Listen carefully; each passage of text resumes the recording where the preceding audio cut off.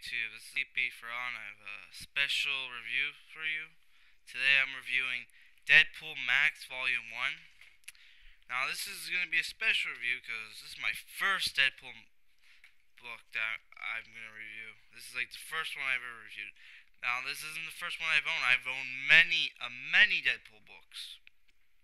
Huge portion of my trade paperbacks is Deadpool stuff, but I tend not to I didn't really want to get into it because, first off, Deadpool is kind of like. I didn't want to jump the bandwagon per se, but this is a brand new book. It came out like. Uh, came out last year, late last year, I think, and it was it's it's a great book. Um, this has it has its problems though this is published by Max. Obviously, Max is a subsidiary of Marvel. It's one of Max's um, Marvel's adult titles, like Dead of Night, uh, Punisher Max. Uh, that's about it. I don't really know that many Max series. Um, but this is actually for the long ever since I read I first read Deadpool, the entire time I re- I was reading this, I was thinking, okay, this character needs um, his own Max series. And what Max, re- what, if you don't know what Max means, Max is basically uncensored. So that means there's swearing, there's boobs, and you're like, how about the gore? Is there like, is is the blood and guts like more intense? Yes, it is substantial by by a lot, by substantial sum. Uh, this is written by David Lapham, Lapham and art by Kyle Baker. Now, the art, the art itself, it's cartoony at times, and it's he switches up his styles a lot. Like there's in flashbacks, it his style turns into kind of like a Frank Miller kind of look, and there's p- parts where character like where well most characters faces will be like you know like blandish. There will be sometimes where some characters our faces are like ultra detailed, and then you and there are some times where the faces look like they're from like a fucking Looney Tunes cartoon. Um, but when the faces are like super detailed, oh, you realize, oh, that's supposed to be like a celebrity of some kind. Uh, I'm not gonna give away who some of the um, uh, celebrity faces are used in this book, but the, um, you'll get you'll get at least one or two. Uh, okay. What's the story? Well, Max is his own universe, which I did not know that. I just um now um in this universe he still Deadpool still has his um he still has his like costume, but he you do not know if he has his powers or not. Um the point it's kind of like it's kind of like you don't know if it's just a like a story that he uses just to bring fear to his enemies because you whenever you see him get hurt it's just he gets uh, like a cut or he gets shot. He gets flesh wounds. He doesn't get like he doesn't get limbs chopped up or his guts spilled or whatever. Um but uh let's go to the story. Um Deadpool is hired by Bob. Bob works for a Black Ops operation group that works for the government, and he he uh, he hires Deadpool as like a freelancer, and um, Bob, who if you're thinking about Hydra Bob, yes, it's him, and he does wear that costume, but he Bob is very different from the main books. Uh, he's actually the comic comedic relief, and you're thinking, what? So that means Deadpool's not funny? Deadpool's funny, but all the really funny stuff, all the really funny moments in this book is with Bob because he gets hurt. Like he gets, Bob gets. Oh my god, a lot of bad shit happens to Bob in this book. He, like the writer, he's Bob's just there to get his ass kicked. Like really and to do like the really gross shit that you know Deadpool can't do. But the Deadpool is hilarious in this book. He really is. Um, let me go back to the story. Uh, so yeah, Bob is Deadpool's handler, and Deadpool. You can't. You're trying. Deadpool is. This is my one problem with this book. Deadpool is a lot like Daniel Way's Deadpool, and I know Daniel Way has his has his fanboys, but all the hardcore Deadpool fans, like Deadpool and Friends and M Classic, and even me, I, well, I won't say I'm a hard a hardcore Deadpool fan, but I'm I'm getting there.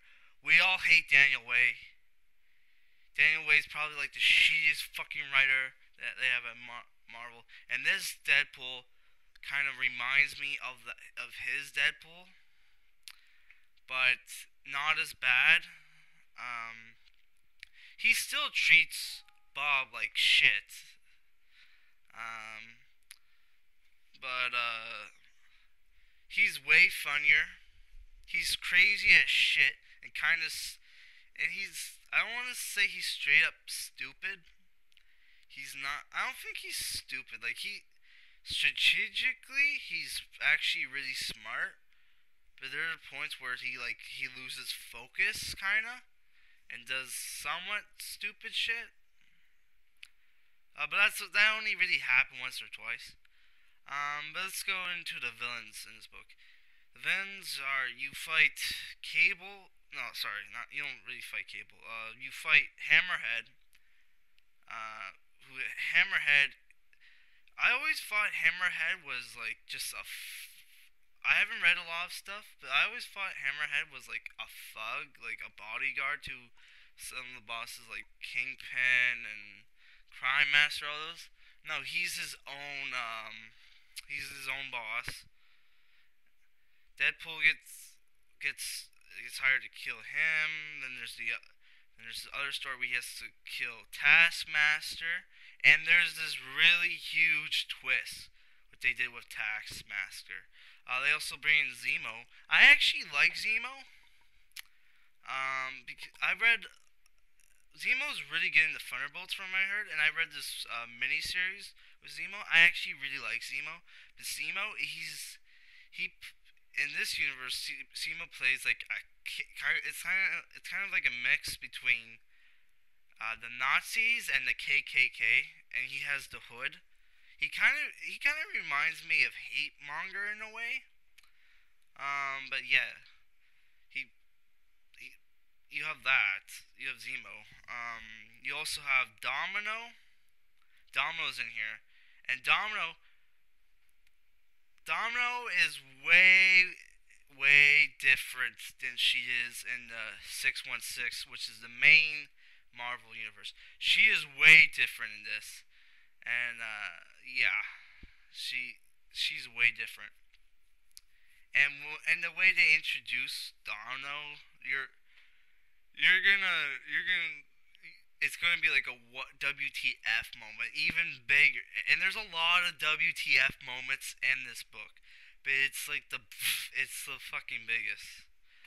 Um, also, Cable's in here, but Cable Cable's in only in like one issue, and he doesn't do much. And Cable's one of those guys where you don't know if he's if Cable's actually who he is, who he, he says he is, or is Cable just crazy like Deadpool? Because apparently, oh no, I can't say that it's a spoiler, but uh, but yeah.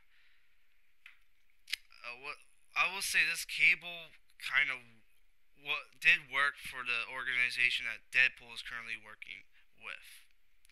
Oh, but I, this is hilarious. Bob, the only way Bob can get Deadpool to do anything is he has to say, he has to tell him that we're gonna kill operatives of the Hydra. Which I think is fucking hilarious. Because apparently in this universe, Hydra, you don't know if Hydra is real or not. And to a lot of people, they, they say Hydra isn't. But uh, apparently Deadpool believes in Hydra and believe and Deadpool refers to Hydra as the evil. The evil.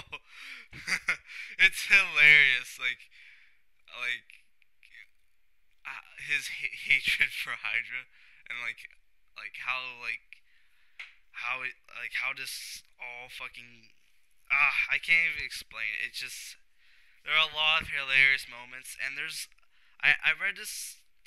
It's been weeks since I read this uh, book. I I re I reread it again like recently, and it was even more hilarious the second time. Like there was I picked up jokes that I missed. I even noticed there'll be uh, little parts of the art, like there, there'll be like little cool things in the background in some of the some of the panels. Like, oh, I didn't notice that before. That's pretty cool. Um, yeah. I'm gonna go with my likes, dislikes. Okay, unlike uh, dislikes. I'm sorry, likes. Uncensored and it doesn't use it too much. Like they don't swear too much, because swearing when it's done right is awesome, but if it's used too much, it's uh, it's it gets retarded. But yeah, um, interesting characters. It's humorous, great plot, character details, and structuring. Oh, there's there's also good drama elements with Deadpool's past. Um, I I put its I I put its episodic issues, which is great for Deadpool.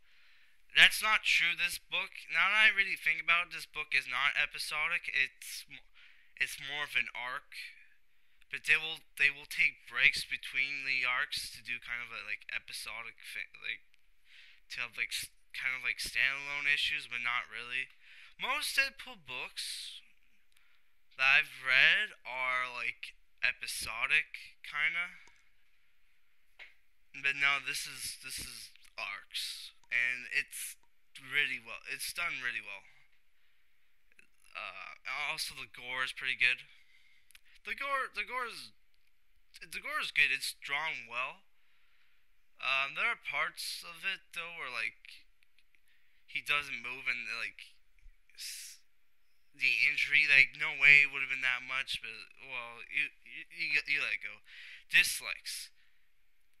I put bad art. Uh, I don't know. The art sometimes, like the art, is a bit too much. It's it's too rough for my like. But yeah, it it's it's too rough. I, I it's it's too rough for my for me. I some people like it.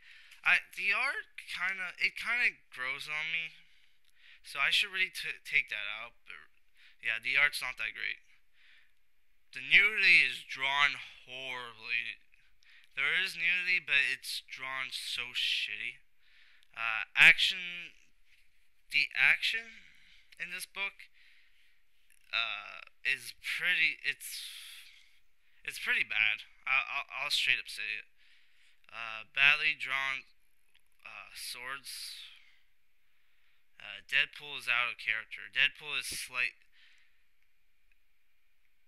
Deadpool is kind is a little bit out of character in some parts, but not really. When I did these these when I did all this shit when I wrote this review, uh this was like right after I first read it. The second time I the second time I read it, I actually I started to like it more. So a lot of these dislikes, you can take it out. Uh, you can just take it out. Uh, my rain is a low must own. Uh, no, fuck that. It's it's a must own. It's a high must own. Uh, it's a great book. I this is one of my favorite Deadpool books. Like I'll put that up there with with uh, Merc with a Mouth. That's all I gotta say. See